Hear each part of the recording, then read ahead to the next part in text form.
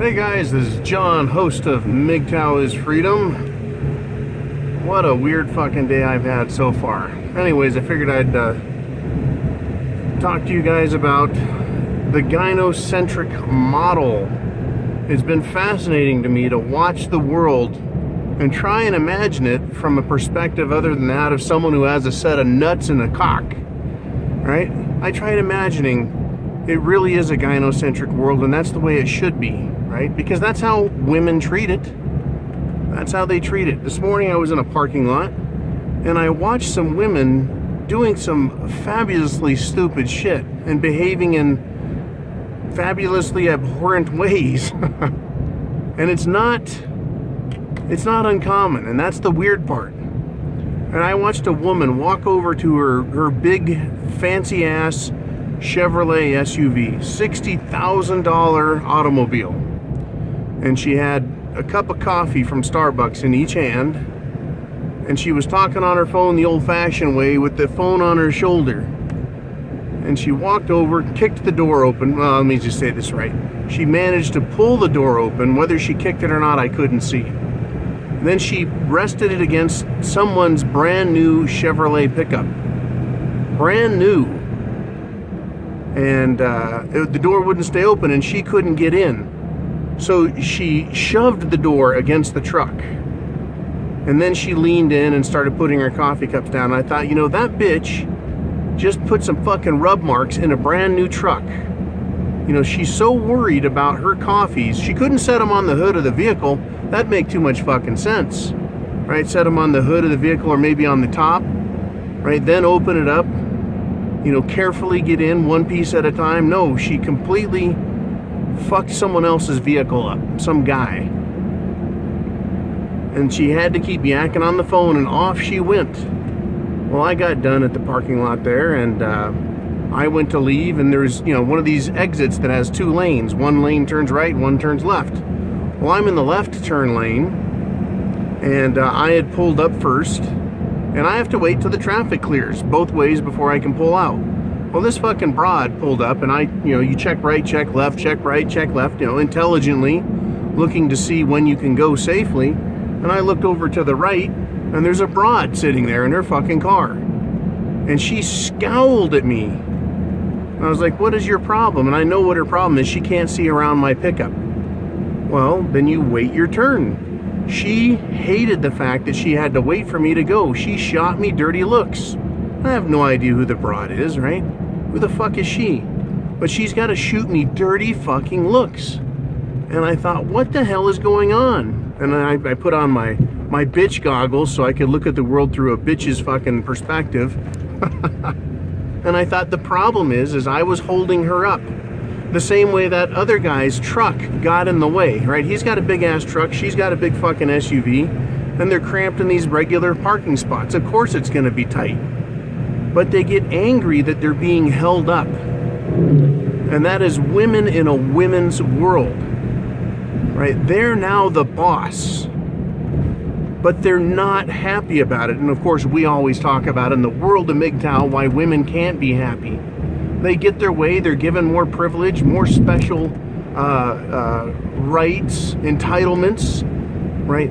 They don't just have a car anymore. The car has power windows, right? Power locks, air conditioning, heated, cooled and heated seats, defrosters on every window, tinting, auto tinting, moonroof, satellite radio so they can listen to their particular genre of whatever come everything they've got and they still can't be happy. They've still got to drive around like fucking cunts.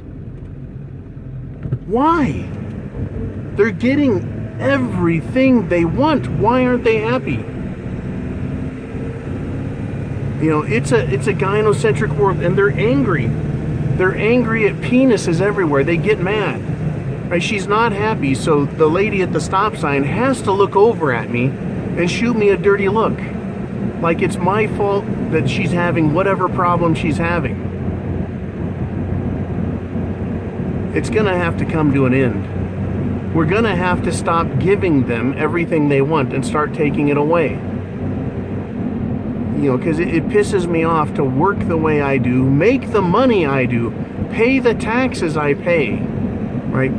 A lot of the money I make goes to pay the taxes, and since women cost more than men, since they use more entitlements, more government benefits, more social benefits than men, my taxes are going to women. Somehow I've got to figure out take them away. Right? Men have to stop buying their women really nice cars. Put them in a fucking Flintstone mobile where they got to put their feet on the ground to slow it down or to speed it up by pedaling their feet. They've got it too fucking easy. But you know, when you get to it, they're just full of anger for no reason. What could it be? I mean, have you guys seen this? Have you seen the angry woman look? For no reason. Right? For a while, they came up with a cute excuse for it, a cute nickname resting bitch face. And of course, I still use that. You know, I, I use that term, resting bitch face. You know, what is their problem, though?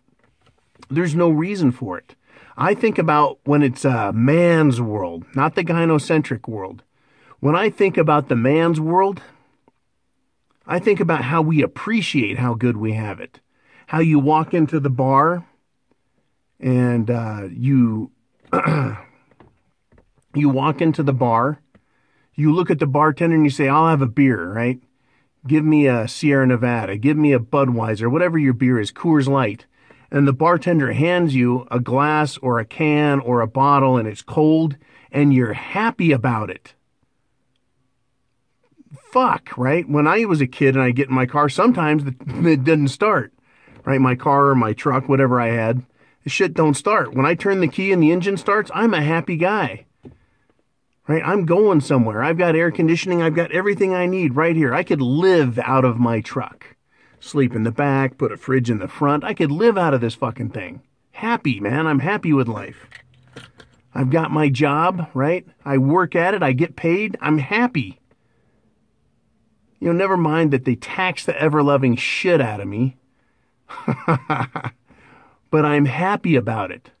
I live in my fifth wheel. I go over there. Everything works. It's a compact little world, right? I'm happy about it. How about you guys? Are you happy? Uh, I know some of you guys that have girls in your life that drive you fucking nuts. You can't quite be as happy, but I mean, are you satisfied with the way the world works for you? You know, you go to the fridge, you open it up, there's fresh food inside of it. It's cold. You take a shit, you flush the toilet, water washes it away, you're happy about that right? To this day, I still like taking a piss just to know that when I flush, it's going to go somewhere it's supposed to go. I take pleasure in all of the innovations of men, all of the sacrifices men have made to make this a great world. The inventions, the innovations, the thinking, right? Uh, mathematics, looking at nature and figuring out how it works, and then saying, now let's modify that to make it work better for people and that benefits both men and women. And maybe that is why women are so unhappy.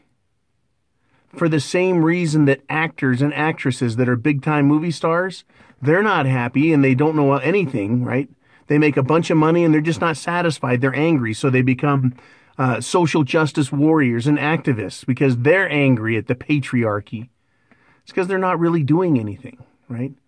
Maybe that's women's problem. Maybe that's why they're so full of anger for no reason because they look around and they get all the benefit and they've contributed nothing. Just like actors. Actors get tons of money for what? For standing there reading a fucking cue card? And they're angry. Maybe that's what women's problem are, is they got it too easy. Right? And they feel guilty for it. And so they carry that guilt around. And it builds up and it builds up and it wells up into hatred for everyone else. Right?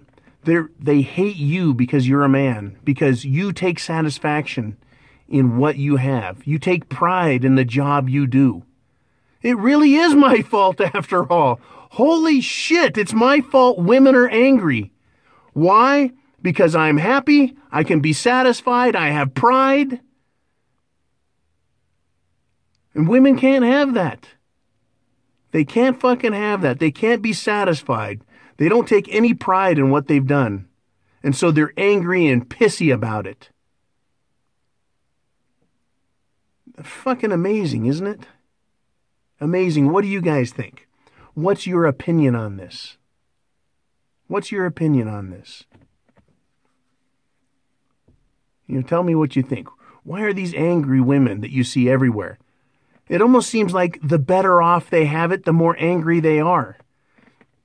Women's rights activists in the 60s, I don't know, what did they want? They wanted to burn their bras and uh, be able to speak freely and, and have more sex. Well, they got it.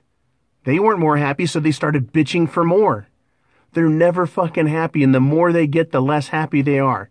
I think that probably in 20 years, they're going to be so unhappy they're going to be allowed to kill men because of their anger towards men and kill men because men are happy and they are so much more unhappy. Look at the world we're heading into, guys.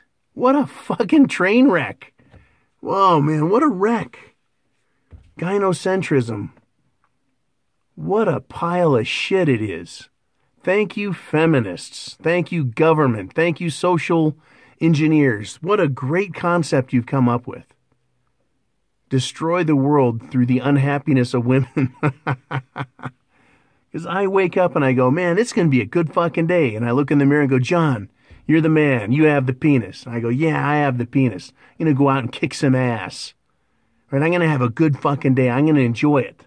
Right? It's feeling like spring. Grass is coming up green. Right? Life is good. The first thing I do is drive out to the road and I'm getting fucking scowled at by unhappy bitches who can't be pleased. What a fucking world, huh? All right, man, you guys be cool. Give me your comments. Tell me what you think. Thumbs up for this and all MGTOW videos on all MGTOW video channels, right? I'm over at Patreon if you want to support this channel and buy a scotch and a cigar for me. That's fucking cool. Um, share. Share this video with old guys, young guys, guys that are engaged, fuck, if they don't know what they're doing, they need some help.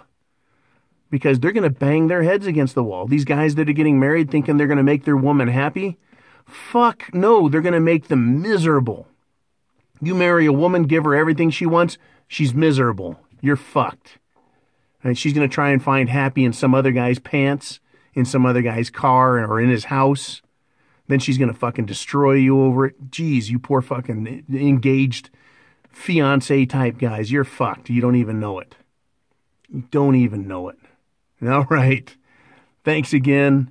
Rock on. Subscribe if you haven't. MGTOW. I have the penis, right? Semper Fi.